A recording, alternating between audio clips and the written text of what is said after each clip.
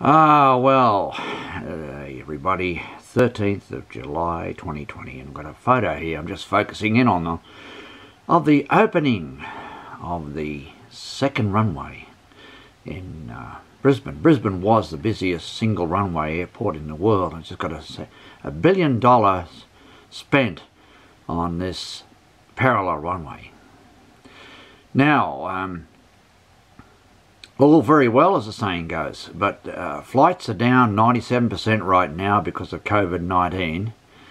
And in those who think, oh, well, that'll be okay in another six months, maybe another year or so, be all right.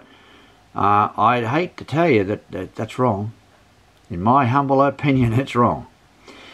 Now, there was an expert, so-called expert, come on the news for a few seconds and said, Oh, flights will be back to about the 2019 levels in 2022. Really? Does that person know that there's a vaccine for the COVID-19 going to flood the world and be taken by billions? Does he know that there's going to be a full cure to COVID-19 and, and all's well, in other words, by 2022? Uh, as the saying goes, I'd like to see that. Uh, I think there's a lot more to be said about this, but uh, we're going to see, uh, they mentioned this earlier, up to 50% of the airlines of the world are going to close. And those that are left will come back, if they're lucky, at half strength or less. And we take the Australian example of Qantas. Uh, it's coming back at half strength, but it, there's a there's a huge reduction in travel, and the government, would you believe, therefore the taxpayers, is actually subsidising airline travel at the moment. That can't go on forever, and they've got to do something about it. Uh, get on their own two feet, and they've said all, already that they can't do social distancing. They're going to have to book all the seats, and there's a lot more to this than meets the eye.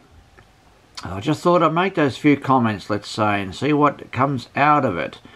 And uh, I, my prediction is it'll be more than two years before you see normal flights. And on that subject, even we've got we've got family overseas, and we've got people in uh, Sh uh, Cheryl and Annie over here in Japan.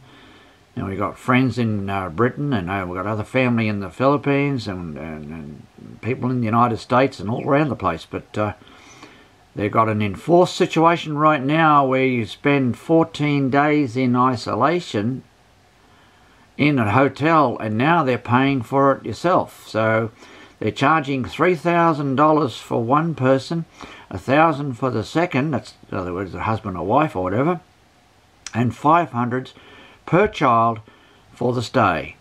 And uh, even that must be considered a bargain, but boy is that expensive.